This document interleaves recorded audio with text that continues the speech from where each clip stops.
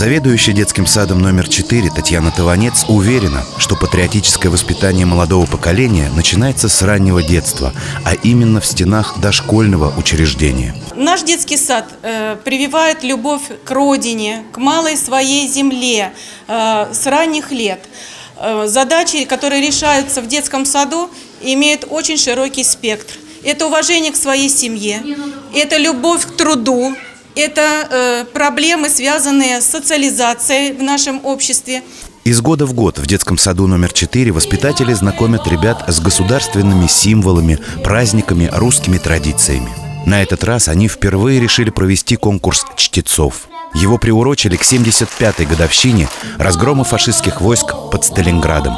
К этому событию готовились не только сотрудники детского сада, их воспитанники, но и мамы, папы, бабушки и даже дедушки. Миленький мой внучек, нет, не плачу я.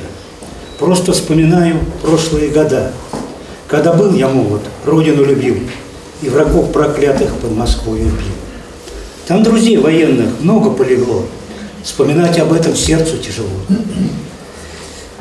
В праздник День Победы встретили не все – там лежать остались в утренней. Ты живи, мой внучек, и войны не знай. Каждый год с победой пусть приходит май. Солнцу улыбайся, весело играй, но о том, что было с нами, ты не забывай. На первый конкурс чтецов были приглашены защитники Родины и труженики тыла. У ветерана войны Татьяны Машковой в этом детском саду вырос внук, а сейчас растет правнук. Она старается не пропускать ни одно мероприятие, которое здесь проводится. Когда я ушла на пенсию в 60 лет, я начала писать стихи о войне, песни о войне, вообще поздравления. Людмила Волкова, врач детского сада номер 4. Ее стаж работы 62 года. Ветеран пришла на встречу с детьми в парадной форме с орденами на груди. Эта женщина полна жизненной энергии и оптимизма. Именно это и любовь к своей профессии помогает ей трудиться в детском саду по сей день. Очень приятно, что у нас именно большое внимание уделяют патриотическому воспитанию. Праздники все, и в Дни Победы, и в 23-й. Вот сейчас это, нынешний конкурс проводится. Это вообще память, как говорится, о войне, чтобы наше молодое поколение не забывало этого.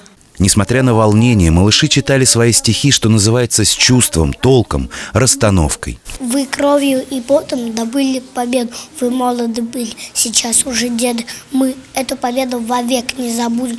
Пусть мирное солнце сияет всем людям. Пусть счастье и радость живут на планете. Ведь мир очень нужен и взрослым, и детям. Всех участников наградили почетными грамотами. Сотрудники детского сада уверены, что проведение конкурсов чтецов станет доброй традицией. Алексей Лагутин, Мила Тарасевич, Денис Харламов, телекомпания «Одинцова».